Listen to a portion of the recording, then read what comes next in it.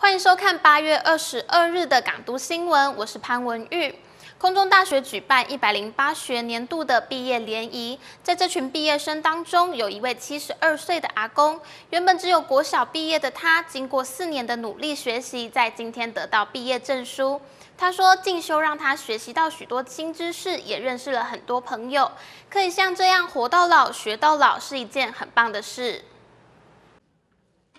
穿着学士服，开心的接下主任颁发的毕业证书。这里是国立空中大学在科工馆举办的毕业联谊活动。而空中大学过去开设许多专班课程，吸引不同年龄层与各行各业的民众参与进修，透过课程学习新知，增添生活乐趣。都进修的这个终身学习的环境，那我们其实有六个科系，那其实我们的学生从大概十几岁到八九十岁都有，而且是各式各样的各行各业都有。那个上课的课程是非常多元化，那又非常的弹性自由，那他不需要很长的时间到学校来。所以说，它可以兼顾到学业、家庭各方面，那大家就会比较有弹性，那也可以自由运用自己的时间。在这群毕业生当中，有一位七十二岁国小学历的王仁顺阿公，平常在台南务农，农闲时间除了投入志工以外，更勤于课业学习，也都会认真完成老师交代的作业。阿公说，参与这样的课程，学习到很多知识，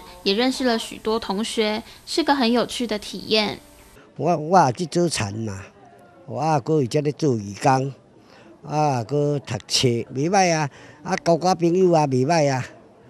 啊，无咱即即根本咱读册哦，嘛是讲久无读啊，啊，啊，读啲捌足字啊，较会晓写字啊，